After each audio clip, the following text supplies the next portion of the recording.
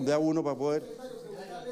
con los detalles respecto a esa muerte porque no hay contexto y lo otro, ¿cuál es la versión oficial de la moneda frente a este audio que se filtró de la primera dama donde dice que están sobrepasados? ¿Cuál es la respuesta del gobierno respecto a ese audio para evitar los llamados fake news, subsecretario? Yo le voy a repetir porque parece que no hubo un grado de entendimiento por parte suya. 11, perso 11 personas... Sí, señorita, si usted me deja terminar, eh, yo le podría contestar. Eh, sí, entiendo que usted no entiende y no comprende. Entonces yo le voy a contestar tranquilo. Yo tengo posibilidad de contestar. Pues pasemos a otra pregunta entonces. Yo quiero contestarle. Si usted...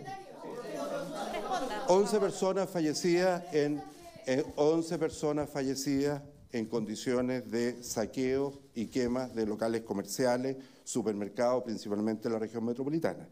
Lo mismo en eh, dos personas fallecidas por impacto balístico que están en manos de la Fiscalía en la ciudad de uno en La Serena y otro en Coquimbo.